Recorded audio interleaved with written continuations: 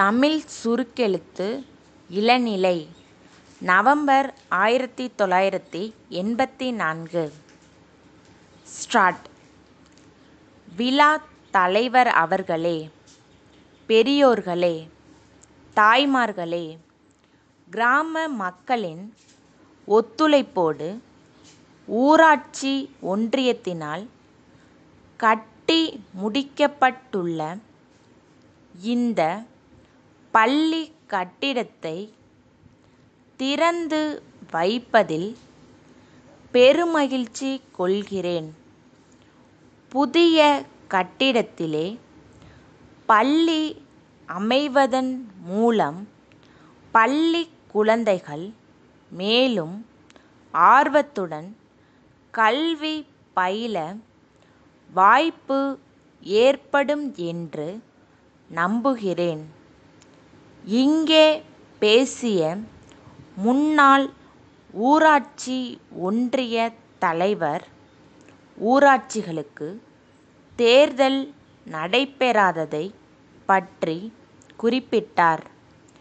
எல்லா உள்ளாட்சி அமைப்புகளுக்கும் தேர்தல்களை நடத்தி ஜனநாயகத்தை முழுமையாக செயல்படுத்த வேண்டுமென்ற அக்கறை அரசுக்கு இருக்கிறது.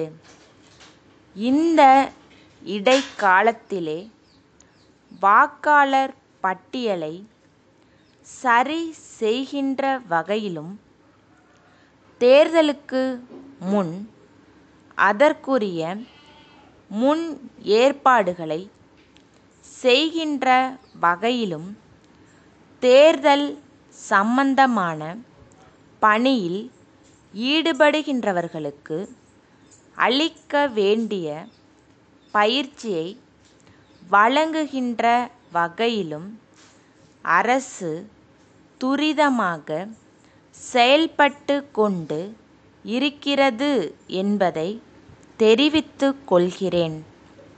இன்றைய நிலையில் இந்த அமைப்புகளில் அதிகாரிகள் பொறுப்பேற்று இருக்கிற காரணத்தால் ஏற்படுகிற குறைபாடுகளை பற்றி இங்கே சொன்னார்கள். தேர்தல்கள் நடைபெற்று மக்களால் தேர்ந்தெடுக்கப்பட்டவர்கள் பதவிக்கு வந்த பிறகும் தற்போது தனி அதிகாரிகளாக செயல்பட்டு கொண்டிருப்பவர்கள் பணிமாற்றம் பெற்று இன்னொரு வகையிலே உள்ளாட்சி அமைப்புகளில் செயல்படுவார்கள். தேர்ந்தெடுக்கப்பட்டு வருகிறவர்கள் பல்வேறு திட்டங்களை தீட்டலாம். ஆனால் அலுவலர்களுடைய முழு ஒத்துழைப்பையும் பெற்றால்தான் அந்த திட்டங்களை நிறைவேற்ற முடியும். அதிகாரிகளுக்கு சட்டத்தின் ஒரு பக்கம்தான் தெரியும் என்றும் மறுபக்கம் அவர்களுக்கு தெரியாது என்றும் இங்கே சொல்லப்பட்டது. தேர்ந்தெடுக்கப்பட்ட மக்கள் பிரதிநிதிகளுக்கு இன்னொரு பக்கம்தான் தெரியும். ஆகவே அவர்களுக்கு தெரியாத மற்றொரு பக்கத்தை தெரிவிக்க அப்போதும் அதிகாரிகள் தேவை. எனவே ஆட்களை பொறுத்து இயல்புகளை பொறுத்து அவர்களுக்கு இருக்கிற உற்சாகத்தை பொறுத்து அவர்கள் கொண்டிருக்கிற அக்கறையை பொறுத்தே செயல்கள் இருக்கும். கிராம மக்களை நல்வாழ்வு பெறச் செய்யும் புனித பணியில் ஈடுபட்டு உள்ள உள்ளாட்சி அமைப்புகளே கிராமங்களில் வாழும் குழந்தைகளின் அறிவு கண்களை திறக்கும் பணியையும் மேற்கொண்டு அதற்கு ஆவன செய்வது சால சிறப்புடையதாகும் என்று கூறி என் உரையை முடிக்கிறேன். சிறுசேமிப்புத் துறை இயக்குனர் சென்னை கல்லூரி சாலையிலுள்ள பள்ளிக் கல்வி இயக்குனருக்கு எழுதும் கடிதம் ஐயா! அரசு ஊழியர்கள் பயன் பெறுவதற்காகவென்றே அஞ்சல் துறையினர் ஓர் ஆயுள் காப்புறுதித் திட்டத்தினை நடத்தி வருவதை தாங்கள் அறிவீர்கள்.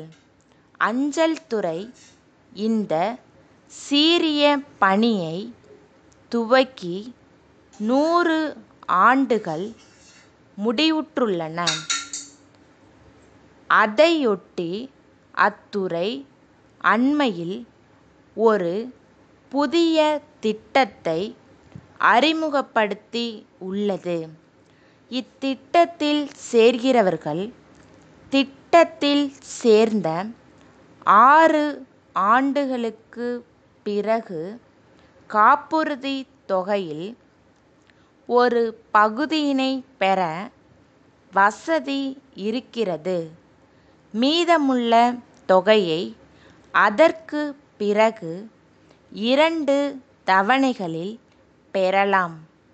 இவை தவிர ஏற்கனவே நடைமுறையிலுள்ள திட்டங்களுக்கு உள்ள எல்லா சிறப்புகளும் இந்த புதிய திட்டத்திற்கும் உண்டு.